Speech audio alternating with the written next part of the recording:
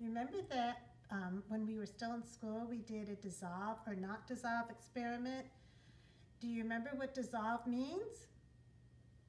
Yes, it means that things that disappear in the water and you don't see it looking the same as it did before they got put in water. If things do not dissolve, that means they stay the same looking as they did before they were mixed with water.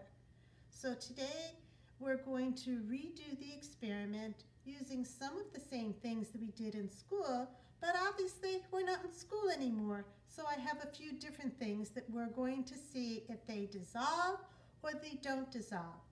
So now we're looking at the table to see the different things that I have laid out here that we're going to do for this dissolve experiment.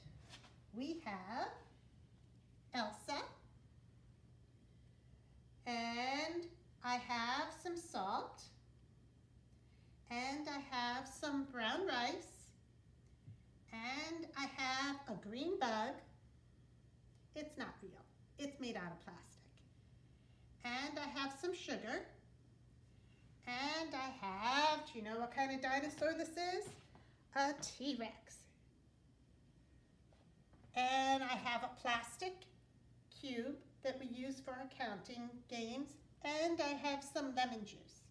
So we're going to take turns by putting these, I'm going to put these different things into the water and I'm going to ask you whether you think they're going to dissolve meaning that we're not going to see them anymore in the water. They are going to mix with the water and disappear like magic.